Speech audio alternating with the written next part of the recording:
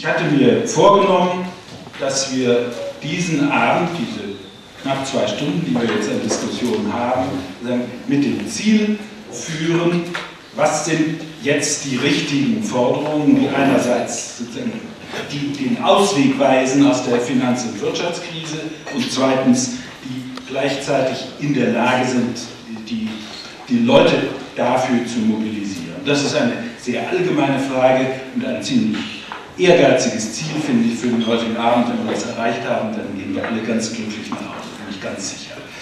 Ähm, ich habe selber mir so eine Liste gemacht an Fragen, die ich alle abarbeiten will, aber ich wollte erst euch dreien erstmal die Gelegenheit geben, was, wo die Prioritäten in genau dieser Frage eurer Meinung nach sind und würde Willi bitten, anzufangen.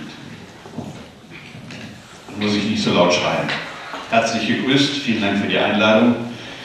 Ich äh, will noch mal ganz kurz auf die Situation hier in Hessen eingehen, weil ich will äh, deutlich sagen, ich will Sarah Wagenknecht nicht ersetzen. Das war auch nicht die Absicht. Kann ich auch nicht, weil ich nicht mal das hübsche Aussehen habe. Das will ich äh, nur vorweg. Ich bin, ich bin aber Rentner, das ist nicht so tragisch. Also, es geht mir darum, dass wir zunächst einmal einen Blick darauf werfen, wie sich hier in Hessen die Landschaft entwickelt hat. Wir hatten ja im letzten Jahr im März die äh, Abstimmung, die Volksabstimmung über die Verfassungsänderung in Richtung Schuldenbremse. Die Schuldenbremse ist in Hessen mit immerhin 70 Prozent, aber immerhin gegen 30 Prozent der Wählerinnen und Wähler in die Verfassung hinauf äh, aufgenommen worden. Und jetzt sind wir in einer Phase der Umsetzung einer solchen Politik. Das ist im Haushalt 2012 in Hessen noch nicht spürbar, aber jetzt geht die Debatte los, wie man im Grunde genommen diese strangulierenden Elemente einer solchen Finanzpolitik hier in Hessen umsetzt. Ich will nur ein Stichwort sagen. Für das Jahr 2012 wurden den Kommunen bereits 344 Millionen Euro aus dem kommunalen Finanzausgleich einfach herausgenommen. Und dann gibt es jetzt ein Spiel, dass man sagt, wie wir sehen, das Elend der Kommunen, das ist umfassend, das ist riesengroß. Es sind allein 6 Milliarden Euro an äh, Kassenkrediten, die jetzt die Kommunen hier in Hessen aufgenommen haben. Das ist eine ganz beträchtliche Summe. Dadurch, dass Kassenkredite eigentlich im im Laufe eines Jahres wieder sozusagen zurückgespielt werden sollen, dazu sind die Kommunen gar nicht in der Lage. Und deshalb hat man gesagt, wir machen mal ein Angebot. Wir stellen etwa 3,2 Millionen zur Verfügung, allerdings für 30 Jahre. Das ist eine andere Summe, wenn man 344 Millionen äh, im Grunde genommen in einem Jahr wegnimmt und dafür für 30 Jahre 3,2 Milliarden zur Verfügung stellt, ist das natürlich eine Milchmädchenrechnung, weil im Grunde die Kommunen natürlich viel weniger haben werden. Und es sind auch nur 106 Kommunen, die unter diesen Rettungsschirm schlüpfen dürfen. Also die Kommunen, die am meisten verschuldet sind, die sich also überhaupt nicht mehr retten könnten. Und die müssen sich natürlich festlegen, dass sie innerhalb der Zeit bis 2020 einen Kurs fahren, der dann zu einer Konsolidierung der Haushalte vor Ort führt. Und dazu gibt es einen Katalog, einen Maßnahmenkatalog. Dankenswerterweise hat der Rechnungshof das hier in Hessen mit zur Verfügung gestellt. Und der hat mal alles aufgelistet, was man so machen kann in der Kommune. Also man kann zum Beispiel die Volksbildung einstellen, man kann die Schwimmbäder zumachen, die kann man auch privatisieren, wenn es geht.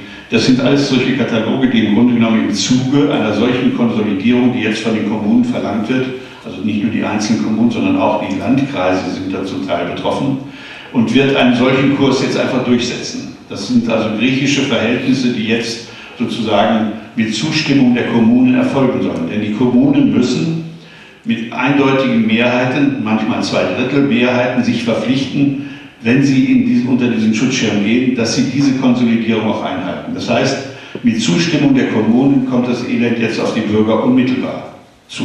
Das heißt ganz eindeutig, und wir hatten auch einen Aufstand der Bürgermeister in der Anhörung der letzten Woche, die dann sagen, also selbst wenn ich das alles zumache, sind wir nicht in der Lage, die Haushalte zu konsolidieren, weil 99 Prozent unserer Haushalte sind festgelegt dadurch, dass beispielsweise die Kommunenträger der ganzen Sozialvorsorge sind, äh, Grundsicherung äh, äh, und auch äh, Wohn Wohnbereiche mitfinanzieren müssen. Das sind alles solche Summen, die im Grunde genommen festgezurrt sind. Die Frage ist auch, ob man tatsächlich 600 oder 700 Euro im Monat für den Kita-Platz verlangen kann. In dieser Größenordnung würde sich das bewegen, wenn man im Grunde genommen kostendeckend Kita-Plätze finanzieren muss.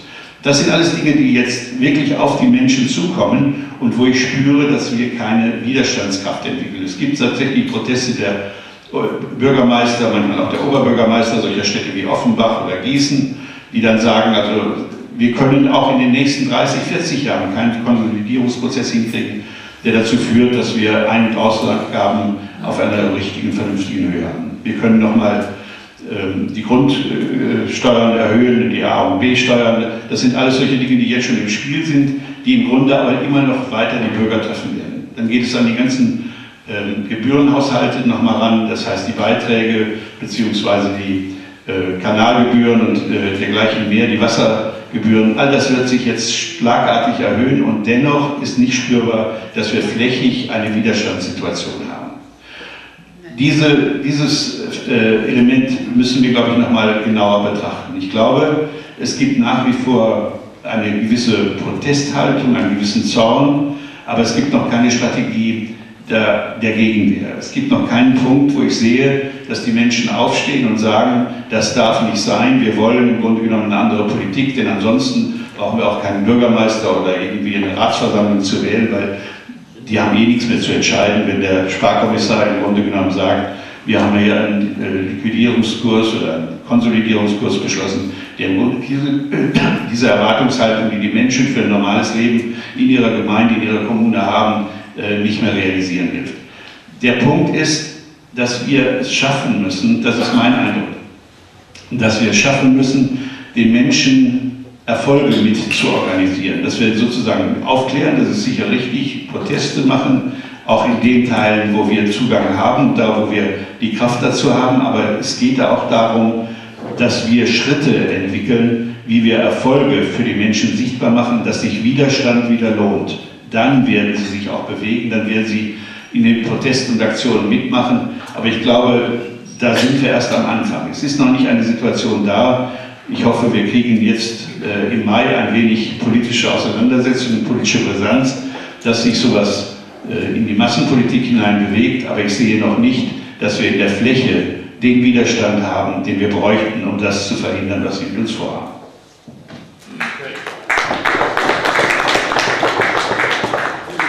Lassen wir erstmal so stehen. Peter.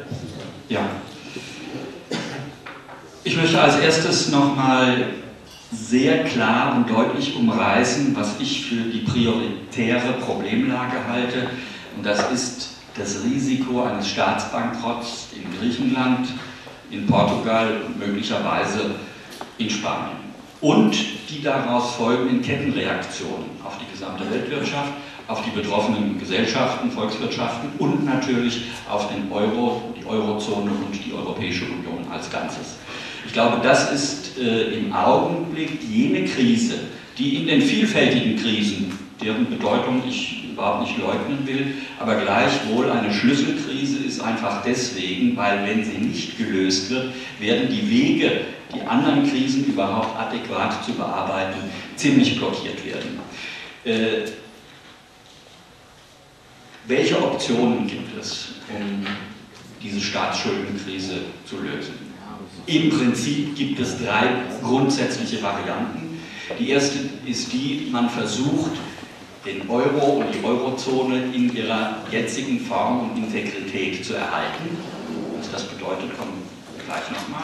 Zweitens gibt es die Möglichkeit des Exits einzelner oder einer Gruppe von Staaten. Und drittens gibt es natürlich die Option, dass der Euro insgesamt verschwindet in Form eines katastrophalen Untergangs oder aber auch als eines gewollten Prozesses, äh, dass man dieses Ding loswerden möchte. Ich will jetzt zu den drei Optionen, die es grundsätzlich gibt, ein paar Bemerkungen machen.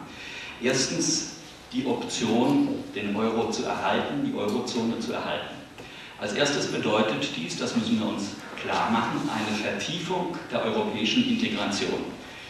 Äh, das ist eine Frage, von der ich nicht weiß, ob in der Linken alle der Meinung sind, dass das wünschenswert und anstrebenswert ist. Ich lege das einfach mal auf den Tisch, aber es ist eine Frage, die damit verbunden ist unterliegend sozusagen unter der Frage äh, Rettung des Euros.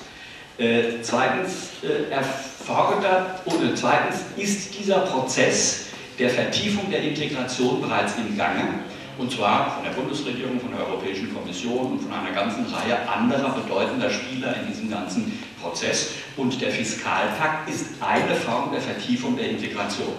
Eine, die wir nicht wollen, eine, die wir zu Recht kritisieren, aber unter dem Gesichtspunkt Integrationsprozess ist es eine Vertiefung dieses Prozesses und stellt damit im Grunde Weichen auch für die Zukunft, dass dieser Prozess möglicherweise noch weitergeht hin zu so etwas in der Tendenz wie die Vereinigten Staaten von Europa. Äh, wir wollen, und das ist jetzt mein dritter Punkt, ich persönlich und viele, mit denen wir diskutieren, natürlich diese Form der Integration nicht. Wir wollen eine andere Form der Integration. Und da komme ich zu den angeforderten Forderungen oder sagen wir mal den Eckpfeilern, wie eine Integration möglich wäre, die keine Integration ist unter Führung der Konzerne, des Finanzkapitals, sondern das soziale Europa, das demokratische und das ökologische Europa. Ein solches Europa müsste, um den Staatsbankrott, den drohenden mit all seinen Konsequenzen abzuwenden, meines Erachtens fünf Elemente umfassen. Erstens, wir müssten uns dazu bequemen, dass es diese Transferunion, diese berühmte, geben wird. Andere nennen das Solidarität, andere reden vom europäischen Marshallplan, whatever, das man das nennt, entscheidend ist in der Substanz, dass es einen Transfer gibt äh, in äh, die peripheren Länder und in jene, die sozusagen von unmittelbaren äh, Bankrott bedroht sind. Das ist das eine. Der zweite Eckpfeiler ist, was man in einem Slogan als die Entwaffnung der Finanzmärkte bezeichnen könnte.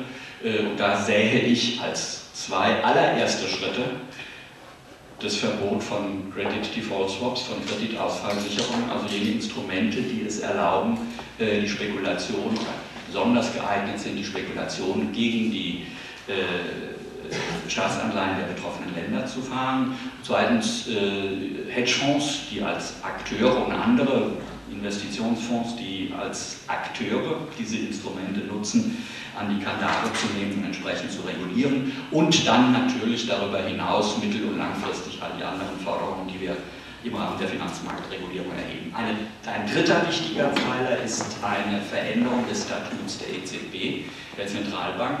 Äh, die Zentralbank muss, um es kurz zu machen, die Rolle erfüllen, für die Zentralbanken erfunden worden sind, nämlich in Notfällen Länder of Last Resort, den Kreditgeber äh, der letzten Instanz zu geben. In welcher Form das dann technisch geschieht, ist eine zweite Frage. Da kann man dann diskutieren, ob da Geld direkt an äh, Regierungen gehen soll, ob das über äh, Eurobonds gehen soll und so weiter. Aber das sind jetzt sekundäre Aspekte. Äh, der vierte Pfeiler einer solchen Strategie wäre es, anzupacken, die Frage der Handelsungleichgewichte, die als unterliegendes und tiefer liegendes strukturelles Problem äh, die Heterogenität, das Auseinanderstreben in der EU befeuern und äh, wie als Katalysator vorantreiben, in Angriff zu nehmen. Und das bedeutet in erster Linie mit dem Überschuss in der Bundesrepublik Deutschland vor allem Niederlande, Österreich auch, aber erstmal hierzulande beginnen müssten. Und äh, in welchen Formen das geschieht, ist dann wiederum eine weitere Frage, auf die ich jetzt aus Zeitgründen nicht gleich eingehen, können eine Diskussion haben. Und last but not least äh, bedarf es dann einer Erweiterung, einer Vertiefung der politischen Koordination. Denn eine, eine, eine gemeinsame Währung äh, setzt voraus, wenn sie nachhaltig sein soll, wenn sie auf Dauer funktionieren soll und wenn man die Vorteile einer gemeinsamen Währung nutzen will, nämlich geringere Transaktionskosten äh, und im Grunde die definitive Lösung gegen Währungsspekulation zu bieten. Wenn man diese Vorteile sozusagen nutzen will, ist es unbedingt notwendig, dass eine politische Koordination stattfindet, in der Tendenz so etwas wie eine europäische Wirtschaftsregierung. Ähm, nun äh, klingt das erstmal als äh, relativ äh, schwierige linke äh, Forderungskatalog, das Übliche, was man so in den Papieren dann am Schluss in den fünf oder zwölf Spiegelstrichen schreibt. Aber ich glaube, dass wir äh, Grund haben, dass zumindest ein Teil dieser Forderungen durchaus Chancen haben. Einfach deswegen, weil sie entweder zum Teil schon in der Mache sind, beziehungsweise die Kräfteverhältnisse sich in wachsendem Maße in diese Richtung verschieben. Ich fange mal mit dem Punkt an, mit der Transferunion. Äh, der Druck auf die äh, Bundesregierung, äh, sozusagen so etwas zu akzeptieren, wächst. Die Bundesrepublik ist inzwischen weitgehend isoliert in ihrer Haltung sich lediglich und ausschließlich auf Austeritätspolitik, auf Sparpolitik äh, zu kaprizieren. Das wird von vielen Ökonomen, das wird von der Regierung, das wird selbst vom IWF, das wird von den BRICS, von China und so weiter äh, gefordert. Und äh, innerhalb der Europäischen Union sind ebenfalls wichtige Spieler, wie zum Beispiel französische Präsidentschaftskandidaten, aber auch die SPD und die Grünen auf dem Weg, dieses sozusagen in ihr Programm aufzunehmen. Insofern ist das keine utopische äh, Forderung, sondern etwas, was durchaus auch realpolitisch im Bereich des Möglichen liegt. Und es ist wichtig, dass an der konkreten Ausgestaltung, äh, wie eine solche Transferunion dann aussehen sollte, äh, man ordentlich mit bestreute war in der Financial Times ein langes Interview mit dem Chef von PIMCO, das ist äh, eine Tochter von der Allianz, eine große Investmentsgesellschaft, und der hat als Modell äh, vorgeschlagen, man braucht so etwas im Grunde wie den Soli, äh, der nach der Wiedervereinigung dazu da war und zum Teil noch immer da ist, diesen Transfer zu leisten. Bei der Finanzmarktdebatte ist die Situation äh, so, dass es dort Ansätze gibt zu Reformen. Das Problem ist, äh, sie werden entweder verwässert, sie kommen zu spät, das System, in dem sie verhandelt und vorangebracht werden, ist zu komplex und zu ineffizient äh, und deswegen sind wir noch nicht mal, ich würde sagen, bei 10 bis 20 Prozent dessen, was an Reformen anstrengend notwendig wäre, um den Problemstand auf den Finanzmärkten gerecht zu werden. Kannst du einen Teil der Ausführungen in der Diskussion noch äh, anbringen? Ja. Damit diese Ein dieses Einleitungsreferat nicht zu lang wird. Gut, dann nur noch einen Satz. Der Punkt, wo wir im Augenblick die größten Schwierigkeiten haben werden, auch nur einen Schritt voranzukommen, ist die Frage der Ungleichgewichte, weil es bedeutet, dass wir hier bei uns in Deutschland einen langwierigen, komplizierten und auch schmerzhaften Strukturanpassungsprozess vornehmen müssten. Und ob der im Augenblick politisch durchsetzbar ist, würde ich sehr bezweifeln, weil der Widerstand dagegen bis in weite Kreise auch der Gewerkschaften hinein äh, zu groß wäre, als dass wir dort einen Schritt voran. Aber äh, dennoch würde ich sagen, am Schluss, äh, es gibt keinen Grund zu glauben, dass die Position der Bundesregierung, dass diese knallharte Fiskalpolitikposition sozusagen bereits gesiegt hätte, sich durchsetzen würde. Die Kräfteverhältnisse verschieben sich im Augenblick zu unseren Gunsten und aus diesem Grunde äh, denke ich, ist es sinnvoll, äh, an den einzelnen Pfeilern, die ich eben genannt habe, im Detail zu arbeiten und zu versuchen, politisch zum Durchbruch zu verhelfen. Danke. Mikrofon? Ja, vielleicht zwei Sätze zur Analyse. Also was wir gerade erleben, ist natürlich ein absoluter neoliberaler Durchmarsch ähm, der, der, der, Politik und der Interessen des äh, Finanzkapitals in Europa wie wir das eigentlich niemals gedacht haben, nachdem sich diese neoliberale äh, Politik mit, der, äh, äh, mit, dem, mit dem Finanzkrach, mit dem Zusammenbrechen der Finanzmärkte 2008 völlig vor der Wirklichkeit äh, blamiert hat.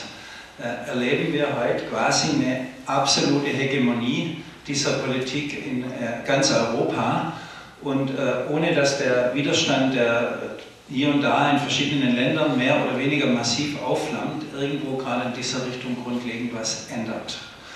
Äh, ich glaube, das müssen wir so nüchtern analysieren. Wir hatten gestern den Hansi Orban in Stuttgart, IG Metall, Vorstandsmitglied, der hat gesagt, es ist im Prinzip eine Strategie der autoritären Stabilisierung und äh, der gefährlichste Anschlag auf die Demokratie seit 1945. Ähm, ich glaube, da hat er nicht Unrecht. Ähm, er hat gleichzeitig gesagt, dass äh, im Kern eine Politik verfolgt wird mit dem Ziel, äh, das Vertrauen der Finanzmärkte zurückzugewinnen.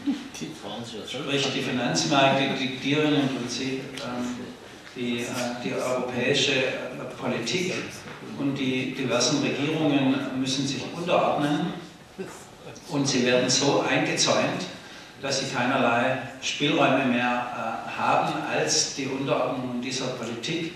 Und es geht so weit, dass quasi die, äh, der, Souverän, das Volk im Prinzip als unzuverlässig bezeichnet wird und die Verträge und die Aushandlungsprozesse oder die Diktate so gemacht werden sollen, dass es völlig egal ist, was die Leute noch wählen.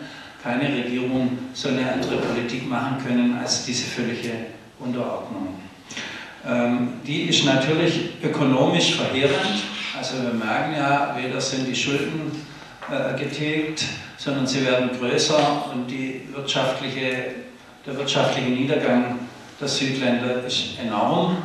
Sie ist in hohem Maße unsozial und äh, äh, erhöht in einem dramatischen Ausmaß die Verarmungsprozesse in äh, ganz Europa und sie ist im Kern autoritär. Und ich glaube, dass wir da einen Gegenentwurf brauchen, wo vielleicht etwas zu lange dauert, den auszuführen, aber deswegen Schlag, schlagwortartig eher, äh, der unter drei äh, Schlagwörter gestellt werden müsste, nach meinem Dafürhalten, umverteilen, regulieren und demokratisieren. Ich glaube, wir müssen erstens sagen, den ganzen Schulden, wobei da geht es ja nicht um die Schulden der Staaten, sondern um die Zerschlagung der Staaten, sondern es geht ja im Kern um die Zerschlagung der Wohlfahrtsstaatlichkeit in Europa. Also stören tut ja quasi äh, das wohlfahrtsstaatliche Element, nicht die Rüstung, auch nicht andere Sachen und die Polizei, sondern zerschlagen werden soll ja der wohlfahrtsstaatliche Teil äh, äh, des Staates. Ähm, und wir müssen da ganz klar sagen, dem steht gegenüber eine ungeheure Ausdehnung des Reichtums, konzentriert in wenigen Händen, wie wir das noch nie erlebt haben. Und dieser Reichtum ist teilbar.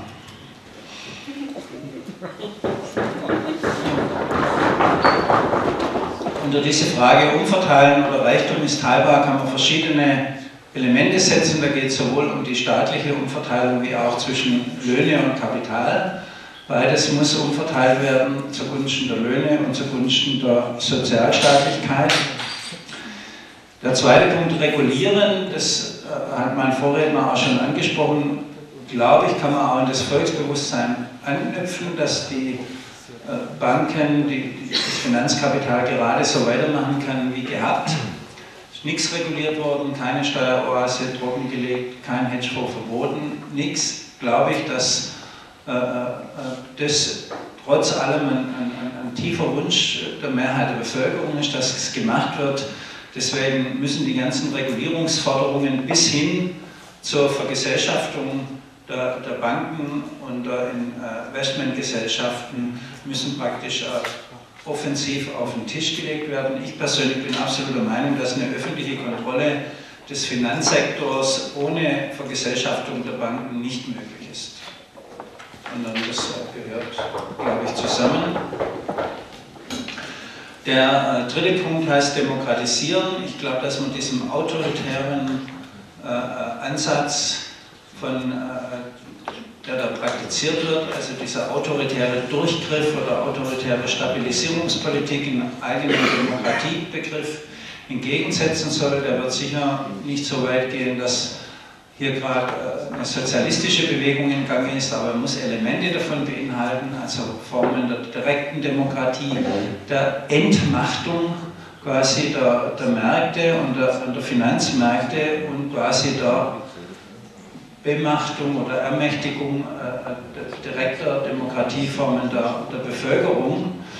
Dazu gehört auch in hohem Ausmaße der, der öffentliche Sektor, weil es natürlich eine absolute Entdemokratisierung ist, wenn die Gesellschaft nicht mehr über die Energieversorgung, über die Telekommunikationsversorgung, über Nahverkehr, über die Bildung entscheiden kann, weil es alles in privater Hand ist. Also gehört zur Demokratisierung absolut die Rekommunalisierung oder Rückvergesellschaftung öffentlichen Eigentums und die generelle Ausdehnung des öffentlichen Sektors, der öffentlichen Daseinsvorsorge und dementsprechend auch eine Demokratisierung der Kontrolle dieser, dieses öffentlichen äh, Sektors. Äh, das halte ich für eine, für eine Schlüsselfrage, weil das auch dazu führt, dass Elemente von Markt und Wettbewerb zurückgedrängt werden zugunsten quasi Elementes äh, der öffentlichen Daseinsvorsorge. Und äh, das äh, auch verbunden ist mit einer Demokratiezunahme, wie umgekehrt das Diktat der Märkte per se quasi eine Enddemokratisierung herbeiführen.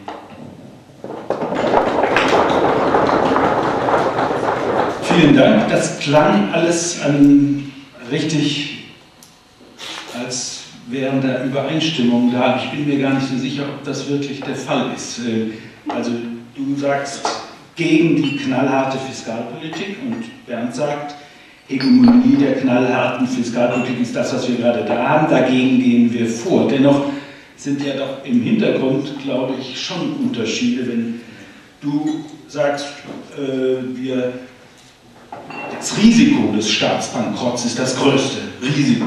Das heißt, und dann sozusagen empfiehlt gegen dieses Risiko eine stärkere Integration, Transferunion, sozusagen ein was ja dann bedeutet auch, dass mehr öffentliche Mittel natürlich sozusagen woanders hinfließen, um die, Schuld, um die Gläubiger zu befriedigen.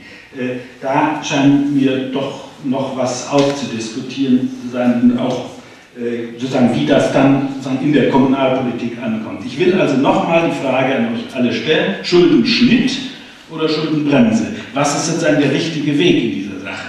Ähm, also mit Schulden draußen wurde ein äh, Flugblatt verteilt und da wurde Chance Staatsbankrott oder für einen deutschen Staatsbankrott sozusagen geworben. Ich glaube, das war der Arbeiterbund. Ähm, also das ist natürlich sozusagen die radikale Forderung und die hat sehr viel für sich. Man muss, glaube ich, schon auch damit richtig äh, die diskutieren. Da würde ich euch alle drei nochmal fragen, ist das nicht die richtige Forderung zu sagen, Schuldenschnitt, Staatsbankrott oder in diese Richtung, jedenfalls nicht Anerkennung. Heute Nachmittag wurde ja das Audit äh, der Schulden äh, diskutiert. Also man muss im Einzelnen prüfen, ob die Schulden legitim sind oder nicht. Eigentlich müsste es ja heißen, ob die äh, Finanzvermögen, die diese Schulden darstellen, legitim sind oder nicht. So ist, glaube ich, die richtige Formulierung dieser Sache oder wäre die richtige Formulierung. Dennoch kommt sie mir ein bisschen sozusagen das Ganze auch schön mäßig und auf die lange Bank schieben und so weiter und erstmal prüfen und so. Da ist es doch wahrscheinlich angesichts der Tiefe der Krise vielleicht doch etwas besser zu sagen, nicht anerkennen, ganz einfach, Schnitt. Äh, Nochmal der Reihe Ja, wir haben ja hier im Gewerkschaftshaus oder vor dem Gewerkschaftshaus eine schöne Uhr stehen, die ist äh, sehr symbolisch hier. Die haben wir in der ganzen Auseinandersetzung um die Schuldenbremse hier schon bedient. Da steht da drauf, dass wir etwa 7,6 Billionen an privatem Geldvermögen haben, geldwertem Vermögen, und etwa 4,6 äh, Billionen davon gehören dem oberen Zehntel in dieser Gesellschaft.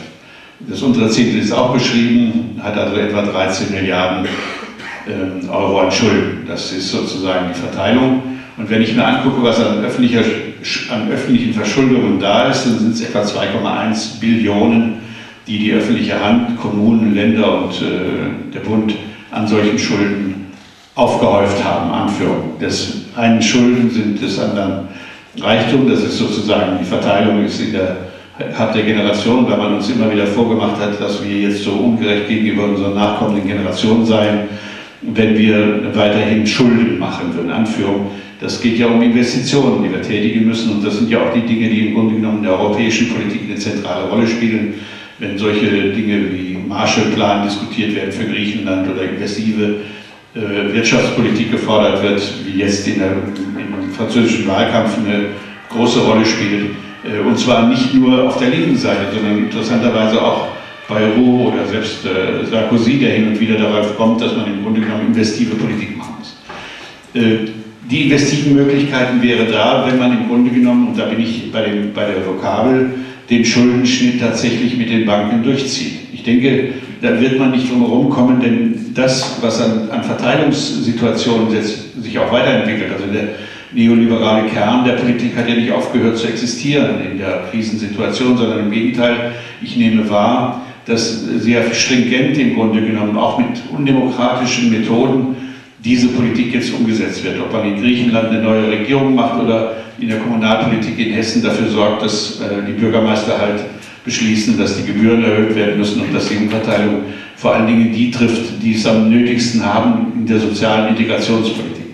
Das äh, sind die, die Positionen. Die Frage ist, wie wir ein Kräfteverhältnis herstellen können, das tatsächlich zu solchen Entscheidungsprozessen dann sich durchringen kann. Ich setze im Augenblick nicht auf äh, Sozialdemokratie und Grüne, dass sie sich dort anpassen, auch wenn sie über den Steuerspitzensatz mal ein bisschen nachdenken und den wieder auf 49 Prozent, wir hatten immerhin bei Helmut Kohl eine Situation auch von 53 Prozent, wir hatten auch schon mal einen bei Adenauer von 95 Prozent, man muss das mal wissen, oder? Historisch, dass man solche äh, Überlegungen durchaus mal wieder laut machen kann, damit man tatsächlich Strategien entwickelt, wie denn eine solche Politik auch umgesetzt werden kann. Sonst bleiben wir beim Lamentieren. Der politische Punkt ist ja für uns zu überlegen, wie kann man eine Kräftekonstellation hinbekommen, die dann tatsächlich einen solchen erforderlichen Schuldenschnitt dann auch durchsetzt. Und an dem Punkt bin ich natürlich noch skeptisch, dass wir diese Kräfteverhältnisse jetzt im Augenblick schneller entwickeln können, als sie notwendig werden.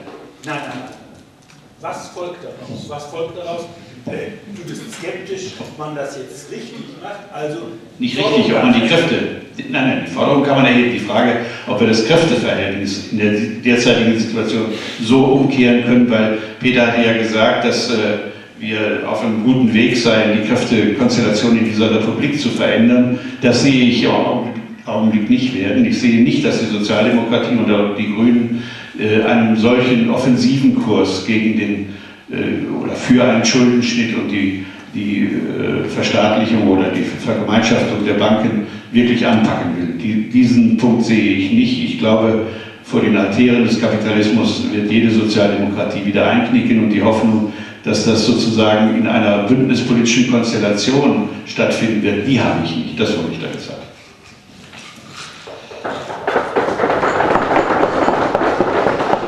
Zunächst einmal muss man sehen, Schulden sind nicht Schulden und ein Schuldenschnitt unter bestimmten Bedingungen ist was anderes als ein Schuldenschnitt unter anderen Bedingungen. Japan hat seit über zehn Jahren 200% Quote von Schulden äh, und kann damit leben, ist nicht in einer existenziellen Krise, im Gegensatz zu Griechenland. So. Und äh, wenn man dort einen Schuldenschnitt machen würde in Japan, wer würde da, wen würde das treffen? Im Wesentlichen, nicht nur, aber im Wesentlichen die Sparer in Japan. Einfach deswegen, weil die Struktur der japanischen Schulden so aussieht, dass das vor allem Verschuldung im Inland ist äh, bei, der, bei, den eigenen Sparern. So, und deswegen ist ein Schuldenschnitt unter diesen Bedingungen überhaupt nicht toll und keine gute Lösung und keine emanzipatorische Lösung. Äh, es gibt nämlich verschiedene Methoden, dann auch mit den Schulden umzugehen. Äh, ich will mal ein Beispiel nennen, wie ein Schuldenschnitt äh, stattfindet in Großbritannien. Großbritannien hat eine Inflationsrate von 5% und einen Zinssatz von, ich glaube, einem halben Prozent. Das heißt, in Großbritannien wird auf diese Weise der Finanzsektor beteiligt an der äh, äh, Tilgung der Schulden. Das ist jetzt kein Plädoyer äh, von meiner Seite dafür, eine gleiche Strategie einzuschlagen. Ich will nur darauf hinweisen, dass es undifferenziert ist und unangemessen ist, bei diesem Thema äh, mit solchen groben Kategorien zu operieren wie äh, die Schulden und der Schuldenschnitt als die Lösung. Äh, hinzu kommt, dass äh, der Schuldenschnitt, jetzt um auf das Beispiel Griechenland zu kommen, ja ohnehin bereits stattgefunden hat, bis zu einem gewissen Grade. In dem letzten Package für äh, Griechenland war ein solcher äh, Schuldenschnitt drin gewesen. Dass der dann wieder kompensiert worden ist auf anderem Wege, äh, ist wieder ein anderes Thema, aber Schuldenschnitt per se bedeutet überhaupt noch nicht. Was viel wichtiger ist, ist die Grundfrage, die sich stellt, nämlich wie kann man die Abhängigkeit der öffentlichen Finanzen von den Finanzmärkten reduzieren. Das ist nämlich das Grundproblem. Und hier hat sich, und äh, dass das wünschenswert ist, glaube ich, braucht man hier gar nicht weiter zu diskutieren, aber äh, dorthin zu kommen, zu jenem Punkt, sich von den Finanzmärkten tatsächlich unabhängig zu machen, das äh, ist ein komplizierter und schwieriger Prozess. Wenn Griechenland heute unilateral äh, einen Schuldenschnitt macht und sagt, wir bezahlen nicht, Punkt aus, fertig, wird Griechenland die nächsten 20 Jahre auf das äh, Niveau eines subsaharischen Landes herabsinken, weil es, es sei denn, die EZB würde ihn retten, aber das wäre ja in diesem Fall nicht äh, gegeben, äh, das Land abgeschnitten werden von jeder externen Finanzierungsquelle und sozusagen äh, gewissermaßen autark sich äh, äh wieder sozusagen hocharbeiten müsste. Deswegen ist ein unilateraler Schuldenschnitt äh, für Griechenland eine, wäre eine einzige Katastrophe. Eine andere Frage ist, ob man einen Verhandelten sozusagen im Einvernehmen in einem geordneten Insolvenzverfahren, wie das da auch im Mikro, im Bereich der Fall ist bei uns im Insolvenzrecht, wenn eine Firma pleite geht, ob man in einem geordneten Insolvenzverfahren äh, dahin kommen kann, äh, dass das nicht zu einer einzigen großen Katastrophe für eine Volkswirtschaft geht. Und dazu gibt es ja nun Überlegungen, äh, so etwas zu machen wie äh, ein Insolvenzrecht für Staaten. Äh, das ist erst im Anfang, aber es wäre eine Option. Kurzum, um auf die Frage zu antworten, Schuldenschnitt ist eine Strategie, die in bestimmten Konstellationen funktionieren kann, vor allem dann, wenn sie sozusagen verhandelt ist und wenn sie eingebettet ist in ein Maßnahmebündel, das so etwas verhindert wie den totalen Absturz. Wir haben ja äh, im Grunde eine, eine Erfahrung äh, auch aus der deutschen Geschichte mit diesen Schulden. Äh, dort hat äh, in den 20er Jahren hat die Reichsbank versucht und äh, das Deutsche Reich versucht, von den Schulden, von den Auslandsschulden, die es als Folge des Versailler Vertrages hat, herunterzukommen, indem es Geld gedruckt hat mit den entsprechenden Konsequenzen, die das hatte. Wenn man abhängig ist, wie eine solche kleine Ökonomie wie Griechenland von den internationalen Finanzmärkten kann man erst dann wieder souveränere Politik machen, äh, wenn die Macht dieser Finanzmärkte in gleichem Maße zurückgefahren wird. Im Grunde nichts anderes als das Grunddilemma der Globalisierung, das wir seit 15 Jahren kritisieren, nämlich dass der Transnationalisierung der Finanzmärkte nicht im gleichen Maße nachfolgt die Fähigkeit der Politik, diese Märkte zu kontrollieren und zu regulieren. Es ist ein Geist aus der Flasche gelassen worden, jetzt sind wir in der Situation, Herr, die Not ist groß, die Geister, die ich rief, werde ich nicht mehr los. Und das ist auch einer der Gründe, warum die Versuche zur Reformierung und zur Regulierung des Finanzsektors so schwierig und so kompliziert sind. Ich sage mal ein bisschen zugespitzt, auch ein Bundeskanzler Lafontaine mit einem Finanzminister Lukas Zeise würde die Finanztransaktionssteuer nicht schneller und besser durchsetzen als der Schäuble. Aus äh, vielen Gründen, über die wir gleich in der Diskussion noch reden können. Es ist also nicht nur sozusagen die Interessenlage, der Einfluss des Kapitals, der da ist, sondern es gibt aufgrund der Globalisierung und zweitens aufgrund der Komplexität der Governance-Strukturen in der EU einen neuen Typus von Problemen, die man nicht einfach so mit äh, den alten Rezepten äh, in den Griff bekommt. Das führt uns dann zum nächsten Thema. Jetzt aber nochmal erlaube mir, dass ich das äh, doch, also mit Lafo als Bundeskanzler würde ich als Finanzminister das hinkriegen. Das würde ich also schon ganz sicher, da bin ich mir ganz sicher. Äh, in London anmarschiert. Gut, kann ich ja mal so sagen, aber ist, also man kann eine Umsatzsteuer auf Finanztransaktionen sehr wohl auch einfach selbst in Deutschland alleine durchführen. Natürlich kann man das machen. Äh, die Frage ist dann, was es bringt, aber es gab in der Bundesrepublik zu Kurzzeiten eine Börsenumsatzsteuer, die tatsächlich auch gewisse Einnahmen gebracht hat. Also das, glaube ich, ist äh, sozusagen die Sache künstlich verkomplizieren. Das wäre die kleine Lösung. Bitte? Das wäre die kleine Lösung. Ja, es ist eine sehr kleine Lösung. Die Finanztransaktionssteuer löst ja das Problem nicht, das wir haben. Da sind wir uns einig.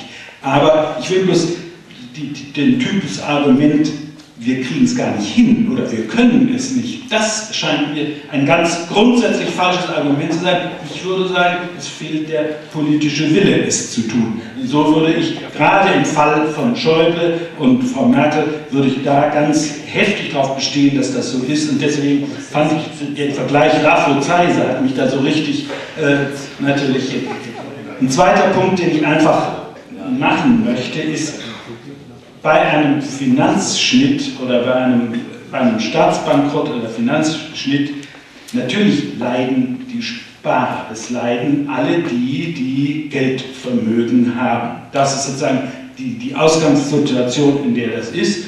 Nun ist es so, dass in, auch in Japan oder in, auch in jeder Gesellschaft natürlich die Leute mit dem größten Finanzvermögen dann auch am meisten leiden. Die Leute, weniger Finanzvermögen, sondern mehr Immobilien und, äh, und, und äh, Produktivvermögen sozusagen, Kapital äh, haben, die leiden da weniger. Interessanter, interessant ist natürlich dann, wie gestalte ich es aus.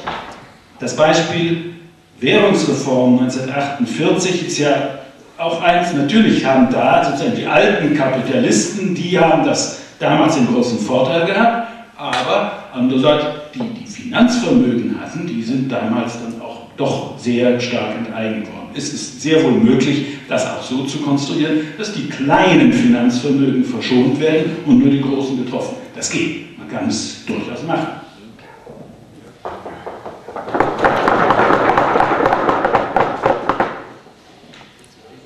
Ja, möchte jetzt sagen, natürlich machen wir das. Aber ich äh, würde gerne mal auf den Zusammenhang, also man muss ein bisschen die Ursachen dieser Schulden äh, beleuchten. Und da würde ich mal sagen, wir reden ja immer auch praktisch über Lösungsansätze oder Ansätze, Lösungen unterhalb quasi der Abschaffung des Kapitalismus. Ähm, natürlich gehört zum finanzgetriebenen Kapitalismus gehören die Schulden. Ich meine, wenn Sie auf der einen Seite das ganze Geld einsammeln durch die Konzentration ungeheurer Vermögen, äh, muss es auf der anderen Seite Schulden geben. Sonst bleiben Sie ja auf Ihren äh, Vermögen, ehrlich gesagt, sitzen. Äh, ähm, und, und, können mit dem gar nichts machen. Also die, die, Schulden quasi und insbesondere jetzt auch der Staaten sind natürlich das Gegenstück quasi des ungeheuren Ansammlungs quasi über die Finanzmärkte von gesellschaftlichem Reichtum.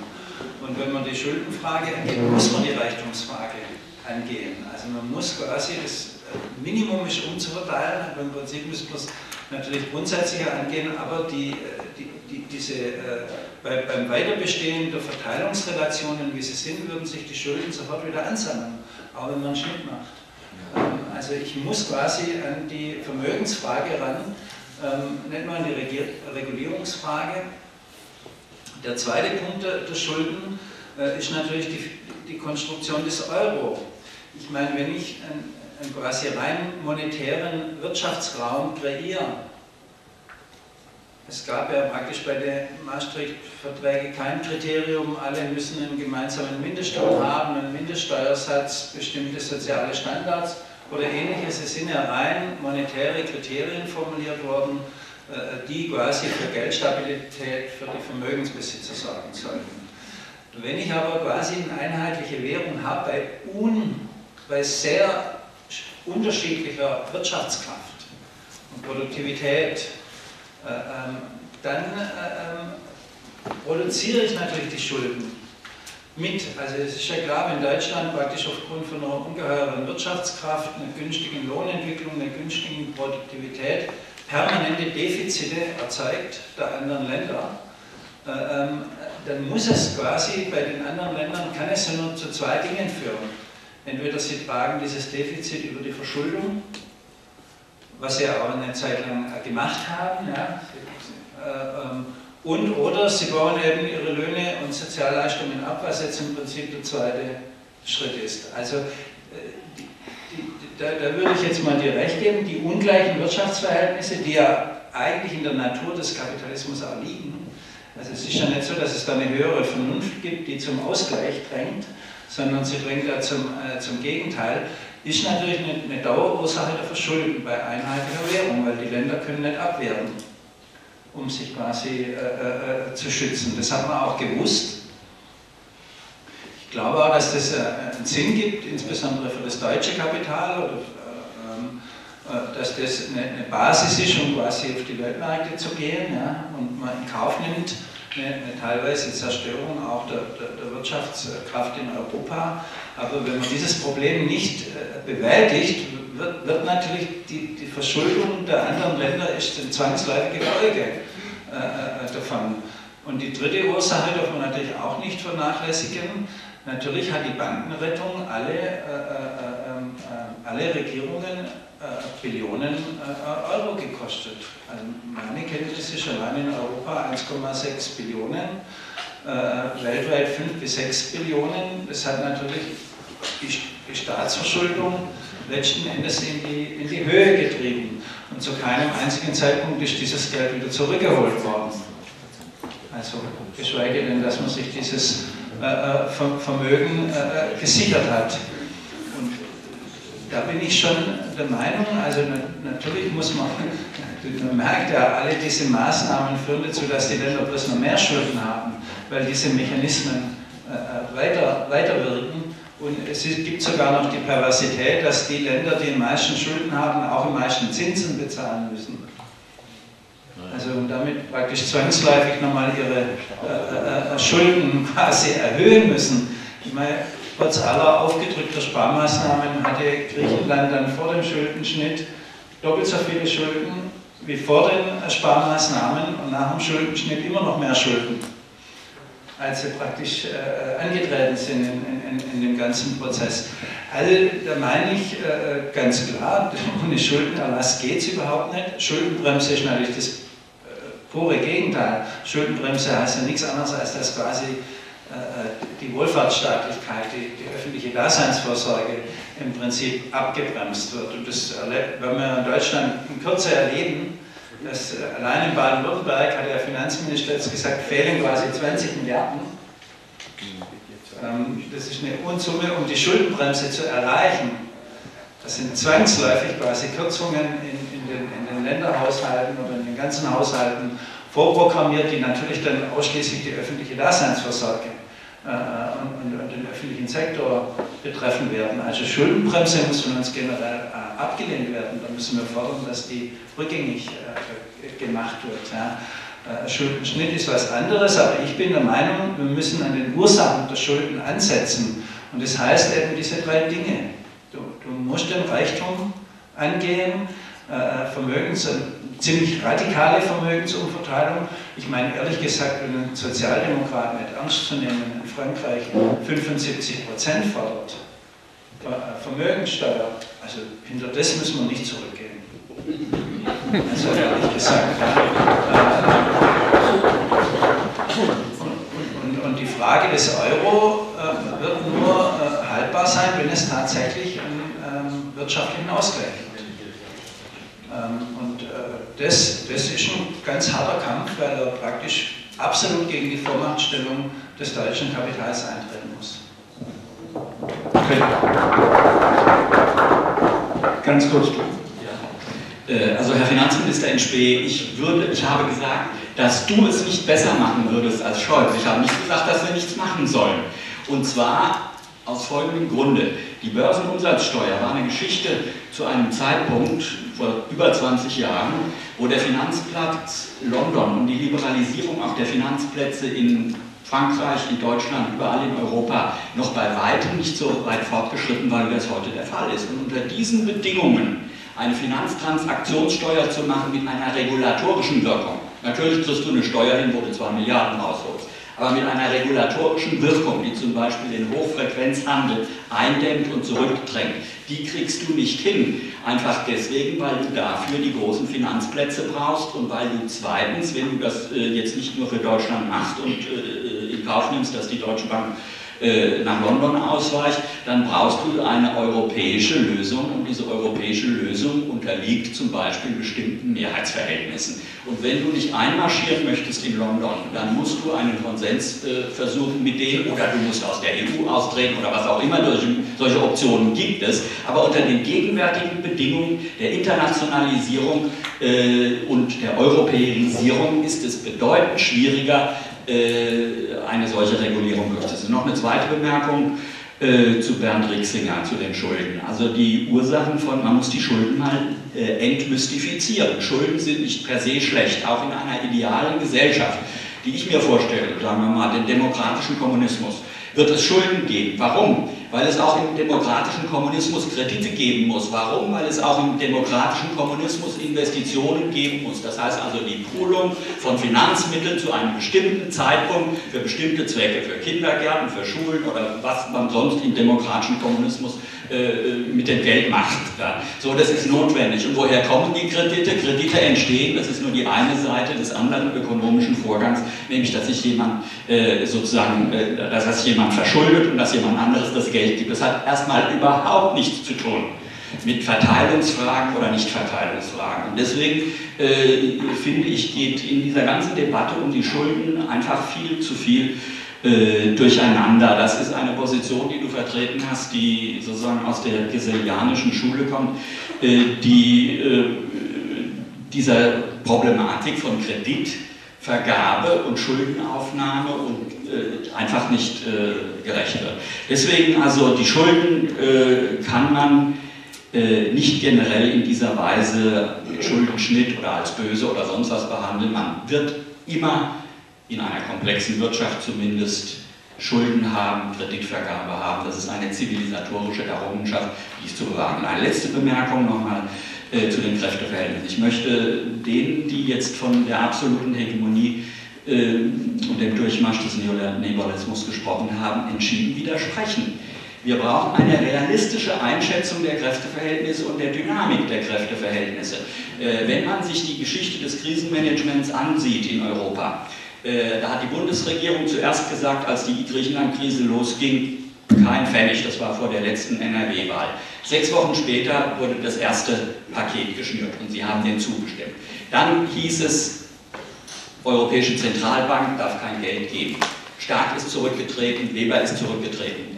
Äh, und was ist passiert? Es gab A, den Kauf von Bonds, zwar für den Sekundärmarkt nicht unsere Ideallösung, völlig klar, aber es war eben auch nicht die Linie der Bundesregierung.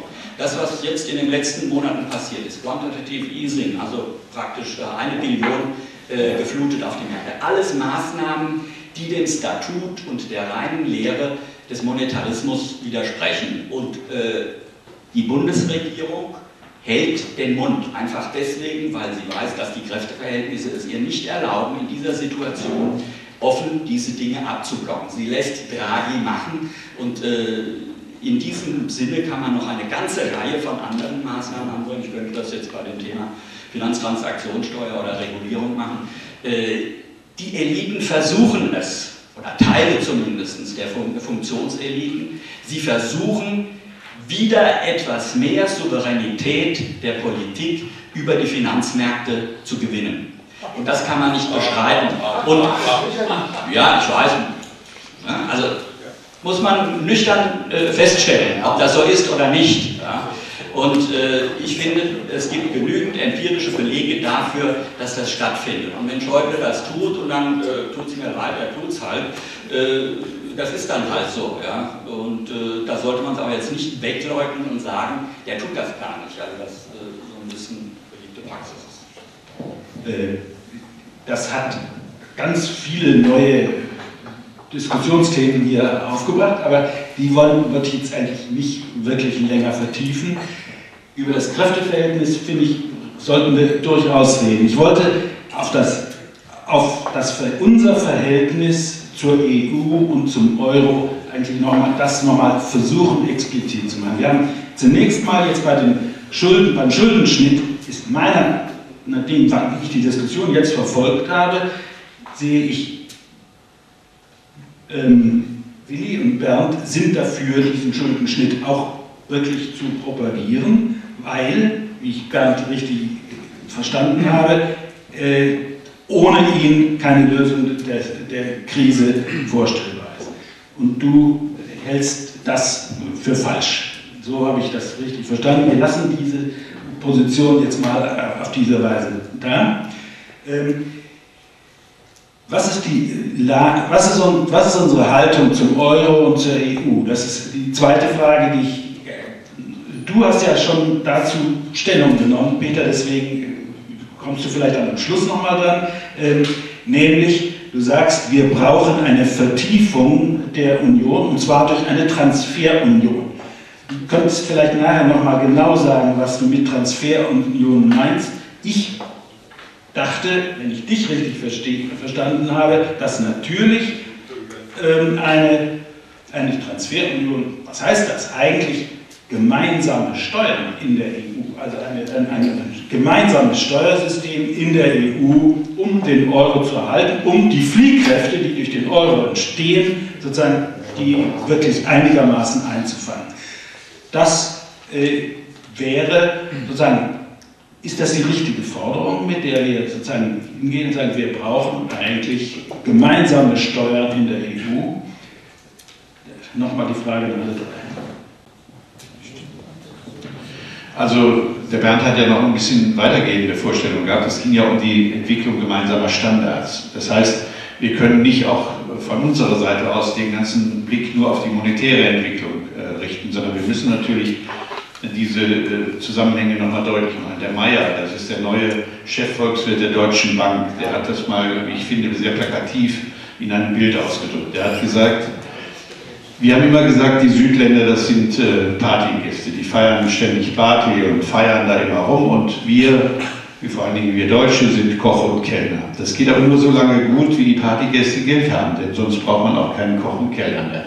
Das ist sozusagen diese, diese Überheblichkeit, die, die im Grunde genommen, äh, wir sind die Exportweltmeister, wir liefern denen alles, aber wir brauchen natürlich von denen das Geld. Und wenn die dann nichts mehr haben, ist das ganz schwierig, weiter Exportweltmeister zu sein. Das Interessante war ja, dass wir den Griechen nochmal, äh, ich glaube, 270 Panzer verkauft haben, aber die hatten dann kein Geld mehr, die Munition zu kaufen, was ich eigentlich schon ganz äh, richtig fand. Das also schon mal ein bisschen äh, Nachdenken Aber der Punkt ist sicherlich die Debatte, die wir hier auch in Hessen ganz stark haben, weil natürlich der Finanzplatz Frankfurt darf nicht gefährdet werden. Das ist sozusagen das Obligo, das wir jeden Tag im Parlament zu hören bekommen, dass also dieses unter gar keinen Umständen geschehen darf. Es gibt eine Regierungsvorlage, eine gemeinsame FDP-CDU, die das im Grunde genommen nochmal festschreibt. Und alles das, was an europäischen Initiativen auch einer gemeinsamen äh, Steuer, an, äh, an gemeinsamen Steueransätzen da passiert. Also es gibt so eine Vorlage, die aus der EU kommt, äh, die Umsatzsteuern anzupassen, Standards zu entwickeln, äh, Kategorien zu bilden, auch mal herauszufiltern, wo soll denn diese Steuer anfallen, wer soll die einnehmen. All solche Dinge sind ja in der Debatte. Das wird hier bei uns ganz rigoros abgelehnt. Also das ist ziemlich eindeutig. Da ist auch die SPD noch dabei, das äh, zu stützen, weil natürlich der Finanzplatz Frankfurt darf nicht gefällt werden. Aber wir sollten nicht alleine auf die Finanzfrage fokussieren. Ich denke, wir brauchen Ansatzpunkte einer gemeinsamen Wirtschaftspolitik. Das hat Peter ja auch am Anfang schon mal gesagt, dass wir solche Standards brauchen, die was mit Lohnentwicklung zu tun haben, die was mit Arbeitszeiten zu tun haben. Wir haben die, die äh, Rentendebatte in Frankreich jetzt wieder neu wo immerhin auch Hollande der Auffassung ist, dass man mit 60 in Rente gehen kann. Also solche Dinge sind genauso wichtig wie die Frage auch, wie können wir industrielle Produktion so in Europa verteilen, dass tatsächlich äh, nicht einer der Weltmeister ist, sondern tatsächlich alle im Grunde genommen ihre Produktivkräfte und ihre Intelligenz und ihre Kreativität auch so einsetzen können, das heißt natürlich äh, einsetzen können, damit tatsächlich eine gleichmäßige Entwicklung in Europa stattfindet. Und dann wären die nationalstaatlichen Fragen auch nicht mehr eine so dominante. Also ich habe ja nach wie vor das Problem, wenn ich in meine zweite Heimat nach Frankreich komme, dass ich immer auch mit Le Pen noch zu tun habe und dem, dem Umfeld in einer Größenordnung, die tatsächlich äh, dominant ist. Das ist hier Gott sei Dank in dieser Größenordnung nicht der Fall, aber wir werden sehen, wie das in Griechenland sich entwickelt. Wir werden sehen, wie das in Spanien äh, sich entwickelt, ob nicht nationalistische Kräfte eine ganz andere Bedeutung wieder gewinnen. Also wir brauchen eine europäische äh, Situation, die weggeht von der Konkurrenzsituation, von dem Konkurrenzdenken. Und das, meine ich, ist der, der wesentliche äh, Standpunkt, den Linke einnehmen müssen, dass wir eine tatsächlich egalitäre Entwicklung in Europa anstellen.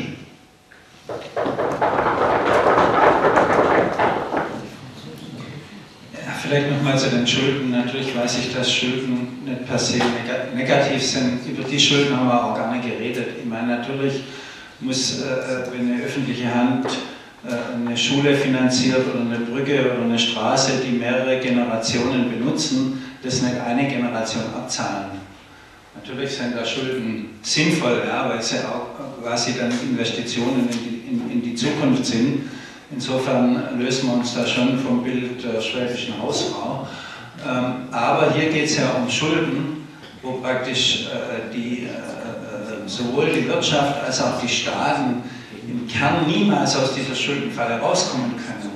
Wenn du 14% Zinsen zahlen musst, wie, wie, wie die Griechen, äh, ähm, und quasi das gesamte Vermögen muss zur Schuldentilgung aufrechtgebracht werden, dann geht es nicht mehr auf eine Schulden, denen Investitionen oder, oder wirtschaftliche Leistungen gegenüberstehen, sondern äh, da geht es um Schulden, die dich praktisch umbringen.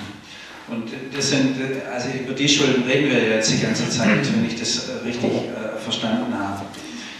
Das zweite, der Versuch ähm, der Regierungen, die Souveränität über die Finanzmärkte zu erzielen.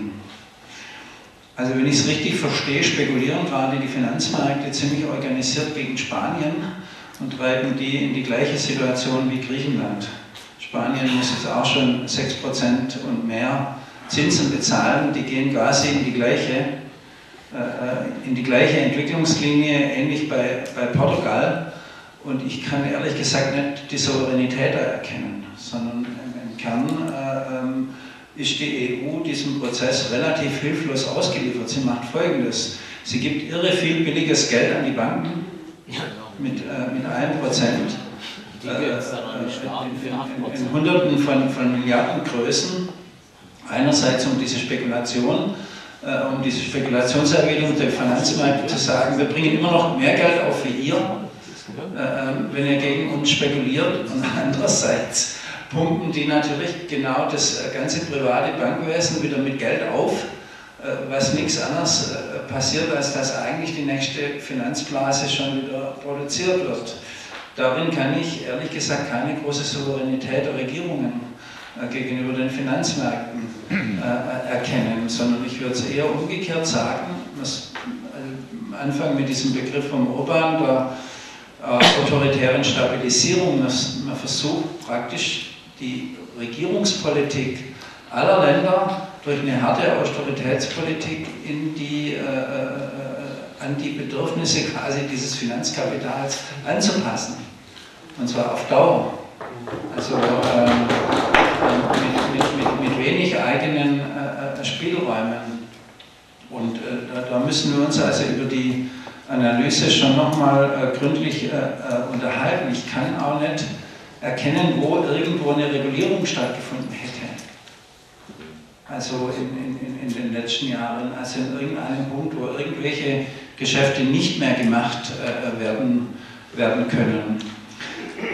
Letzte Anmerkung, wir müssen uns natürlich schon darüber unterhalten, an wen sich unsere Forderungen richten. Also machen wir quasi eine Beratung der Regierungen, wie sie sich jetzt in Europa aushandeln könnten, oder sind unsere Forderungen quasi Mobilisierungsforderungen an die Bevölkerung in Europa zur Herstellung quasi äh, demokratischer und sozialer Verhältnisse. Das ist ein großer Unterschied, glaube ich. Also, mein Bemühen war, quasi Forderungsrichtungen zu entwickeln, die quasi die Mobilisierungskraft der Bevölkerung stärken, weil ich in hohem Maße überzeugt bin, dass nur durch diese Mobilisierung äh, der, der Bevölkerungen überhaupt eine Änderung quasi der Regierungspolitik erzielt werden kann. Insofern müssen wir quasi in sich logische Forderungen entwickeln, die geeignet sind, aufgegriffen zu werden oder die schon aufgegriffen werden und die andocken an die, an die Widersprüche und die Lebensrealität der Menschen. Und insofern bin ich absolut für eine gemeinsame Steuerpolitik, die aber das, das ist ja jetzt wieder die Einschränkung, wenn wir gerade jetzt eine Wirtschaftsregierung hätten, eine europäische, wäre sie oberautoritär und wird genau in die andere Richtung gehen. Ja? Also wir müssen schon die Forderungen gemeinsamer Steuerpolitik mit gemeinsamen sozialen äh, äh, und ökologischen Standards verbinden und mit der Demokratiefrage. Ähm, wenn wir quasi es nur ökonomisch sehen, also wenn wir nur eine ökonomische äh, Ökonomismus praktisch machen, äh, ähm, geht das Ding, glaube ich, in die völlig falsche Richtung. Vielen Dank. Ich bin, beharre leider doch nochmal drauf auf diese Frage der Steuern innerhalb der EU, das nochmal zum Thema zu machen. Es weil es doch die Frage auch betrifft, welche Haltung haben wir zu dieser. Wir können, glaube ich, nicht einfach sozusagen mit dem allgemeinen Mitschwimmen, ja, das ist was Gutes, das ist ein schönes Projekt. Was bedeutet das denn, wenn die EU sozusagen im Wettbewerb die, die, oder die EU-Konstitution, so wie sie ist, einen Wettbewerb der Staaten darum beginnt, wer sozusagen die niedrigsten Steuern für das Kapital anzubieten hat. Das ist eine, eine, eine macht natürlich die EU zu einem, eine, einem, einer, einer, Organisation von Staaten, in der die, sozusagen die Reichen natürlich immer reicher werden und die Schwachen immer schwächer werden und sozusagen das Ganze aber darauf hinausläuft, dass sozusagen die, die Verhältnisse immer unsozialer werden, dass dieses, diese Art von Steuervereinbarung in der EU nicht stattfindet. Gleichzeitig ist natürlich die Kapitalverkehrsfreiheit auch garantiert, sodass die Leute in Griechenland, die reichen Leute in Griechenland, ihr Schäfchen schnell pünktlich ins Trockene bringen können. Und dann andererseits entsteht hier zu Lande der Vorwurf, ja, wir dürfen keinesfalls natürlich äh, irgendwelche äh, Griechen unterstützen, die sind faul und die sind selber daran schuld, dass sie ihr Geld in die Schweiz bringen. Äh, das ist sozusagen die Frage, die ne, hat die EU überhaupt noch eine Chance, dass wir sie wirklich unterstützen können? Lohnt es sich für dieses Euro-Projekt äh, solche Forderungen aufzustellen oder ist die Sache vergebens? Äh, ist es eigentlich so von den Kräfteverhältnissen her, dass wir sagen müssen, das, das klappt nicht. Wir kriegen einen solchen, sozusagen einen, einen solchen, gleich einen Steuerstaat, wie er eine Währungsunion überhaupt ermöglichen würde, eine gemeinsame, gemeinsame Staats- und eine Transferunion, wie du sagen würdest, das kriegen wir nicht hin. Und das sagt das, was im Augenblick im Prozess der Finanztransaktionssteuer passiert. Und das ist genau die neue Herausforderung. In der Bundesrepublik eine Steuer einzuführen, ist vergleichsweise einfach. Wenn du das in der EU machst, brauchst du im Augenblick Einstimmigkeit, Konsens. Und es ist nicht nur Großbritannien, es ist auch Tschechien, es ist auch Schweden, äh, die gegen diese Steuer sind, es ist auch äh, die Niederlande dagegen. Und dieses Problem äh, anzugehen, da bedarf es eben einiges ja, langen Atems. Und es ist nun einmal so, dass Schäuble ich habe nie gewählt, ich werde auch nie wählen, das ist gar nicht der Punkt, ja, sondern mir geht es darum, klarzumachen, dass wir diese Entwicklung bei den Funktionseliten erkennen müssen, wenn wir wirklich effizient äh, sozusagen Einfluss nehmen wollen. Und er versucht das. Und das ist ein interessantes Phänomen und muss das tiefer äh, analysieren. Er tut das übrigens auch bei einigen anderen Dingen. Er hat sozusagen unilateral vor einem Jahr oder anderthalb Jahren ungedeckte äh, Leerverkäufe verboten. Es gab einen wilden Aufschrei, selbst aus der Sozialdemokratie. Äh, in der Sache war das eine sehr gute Entscheidung und inzwischen ist es so, dass eine Dynamik entstanden ist, dass auch in der EU jetzt ungedeckte Leerverkäufe, das ist ein besonderes äh, Spekulationsverfahren, verboten wird. Das heißt, es ist alles etwas komplizierter und langwieriger und komplexer geworden, innerhalb Europas so etwas zu machen. Aber zu deiner Grundfrage zur EU. Ich bin der Meinung, dass ökonomische Integration ein Grund, eine Grundtendenz in der Geschichte ist, äh, die angefangen hat von der Sippe über den Stamm äh, zum Feudalländchen bis hin zum modernen Nationalstaat und dass dieser Prozess weitergeht. Und dass er nicht nur bei uns weitergeht, sondern auch woanders äh, weitergeht, parallel. Die EU ist sicherlich das Beispiel, wo das am avanciertesten ist. Nehmen wir Lateinamerika, Alba, Kuba, Venezuela, äh, Bolivien und andere machen ökonomische Integration. In Ostasien sind solche ökonomischen Integrationsprozesse im Gange äh, und äh, sie werden, selbst in Afrika wird das probiert und das ist eine Tendenz, von der ich grundsätzlich denke, dass sie positiv ist und dass man sie begrüßen sollte und dass man sie unterstützen sollte. Aber selbstverständlich ist das Projekt EU in den letzten 20 Jahren, seit der Etablierung des äh, äh, gemeinsamen Marktes äh, und äh, mit den Maastricht-Verträgen und erst recht durch die Konstruktion des Euro, in einer Weise äh, geschehen, die die Privilegierten, die Reichen, die Konzerne und so weiter einseitig bevorteilt hat. Diese Form von Integration ist nicht gut und wir sollten uns für eine andere Form von Integration einsetzen. Aber was wir nicht tun sollten, ist zu glauben, dass wir zurück sollen und könnten äh, zum Nationalstaat äh, und dessen Handlungsmöglichkeiten, wie sie in den letzten 100 Jahren existiert haben. Denn so neoliberal diese EU ist, so schlecht die Kräfteverhältnisse sind, wenn wir es auf die Bundesrepublik übertragen, sind sie dann besser?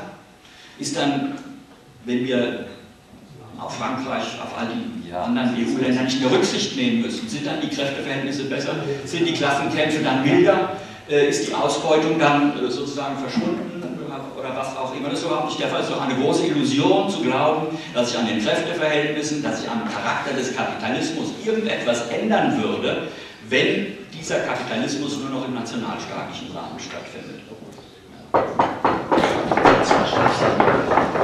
Ja, das teile ich unbedingt, dass die Frage der Nationalstaatlichkeit äh, nicht unsere Perspektive ist, hat ja schon mal ganz berühmter Mensch geschrieben, 1848, dass die Arbeiter kein Vaterland haben. Also das äh, ist sicherlich auch so eine Leitidee, die man nach wie vor wachrufen muss. Unser Problem besteht aber darin, dass wir zu schwach sind bisher in der Bündelung der Kräftekonstellation. Wenn ich nach Frankreich komme oder nach Griechenland, dann sagen die mir, wo seid ihr eigentlich äh, in der Solidarität mit uns? Das ist sicherlich so eine Auffälligkeit, dass wir auch die internationale Kooperation des Widerstandes oder der Aufklärung in einem Maße äh, haben, der nicht der, der Situation entspricht, der nicht sozusagen den Widerstandsgeist, den die Spanier oder auch die, Griechen dort an den Tag legen. Wenn es in Europa eine solche Bündelung der Kräfte gäbe, hätten wir eine andere Konstellation und würden natürlich auch, was die Fiskalpolitik angeht, andere Erfolge durchsetzen können. Ich glaube schon, dass also gerade, wenn man jetzt nach Frankreich guckt, in diese Präsidentschaftswahlen und die anschließenden Legislativwahlen, äh, dass sich da möglicherweise die Kräfteverhältnisse tatsächlich etwas verschieben könnten. Das hoffe ich sehr, dass das passiert. Oder wenn am 6. Mai wird, glaube ich, gewählt in Griechenland, dass man sich das zwar nochmal genauer angucken muss, aber es gibt im Grunde genommen auch durch die Aufklärung und ich hoffe durch die Europäisierung, wir hatten immerhin Ende März ein großes Treffen nochmal in äh, Brüssel, wo die Rudimente äh, oder die Elemente der Sozialforumsbewegung, aber auch äh, gemeinsam mit äh, Gewerkschaften und der Linkspartei den Versuch machen, einen europäischen Gipfel wieder zu installieren, wo man zu europäischen Gemeinsamkeiten kommt. Ich glaube, das kann eine Dynamik entwickeln, wenn man tatsächlich als Gegenposition auch eine gemeinsame europäische Widerstandsbewegung, Sozialbewegung wieder hinkriegt, die dann auch den Druck auf die nationalstaatlichen Regierungen und auch auf die Bundesrepublik verändern könnte. Ich hoffe jedenfalls darauf, dass aus dieser Auseinandersetzung tatsächlich eine Verschiebung der Kräfteverhältnisse dann möglich wird. Aber ich glaube nicht, dass wir derzeit hier in der Bundesrepublik alleine in der Lage wären, eine solche neue Kräftekonstellation herbeizuführen. Ich glaube, wir sind auch auf diese Internationalität in, Europa angewiesen und ich verspreche mir da einiges davon, dass wir in dieser internationalen Kooperation auch wieder eine neue Dynamik nach uns hier in die Bundesrepublik reinkriegen.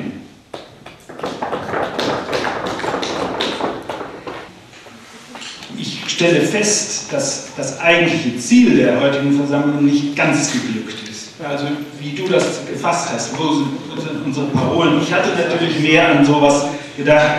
Wir sind auf die Straße gegangen, als die Finanzkrise noch frisch und jung war. Da sind wir auf die Straße gegangen unter der Parole, wir zahlen nicht für eure Krise. Das war eine absolut richtige, eingängige und aber natürlich auch relativ vage äh, Parole, die leider sind die, es gab dann zwei richtig große Demonstrationen mit diesem Motto und noch einige Aktionen und es war eigentlich sehr gut. Und dann haben wir noch ein Jahr vergangen, festgestellt, dass wir schon für die Krise gezahlt haben. Also das war leider, äh, das war die richtige Parole und dennoch haben wir es nicht weiterführen können. Ich hatte, sozusagen, ich stelle mir immer noch vor, dass das, was du sehr abstrakt formuliert hast, als in welche Richtung es gehen muss, müssen wir schon auch ein Stück äh, es muss ein bisschen konkreter sein, so eben wie das mit den Sparkassen. Das Problem mit den Sparkassen, der Forderung der Sparkassen und der Trennung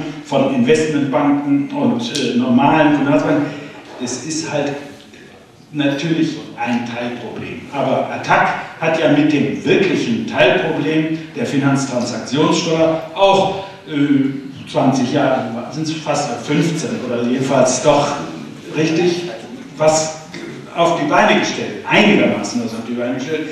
Es, man kann damit anfangen. Wahrscheinlich ist das deswegen gar nicht so falsch. Ich ähm, wünsche euch einen schönen Heimweg.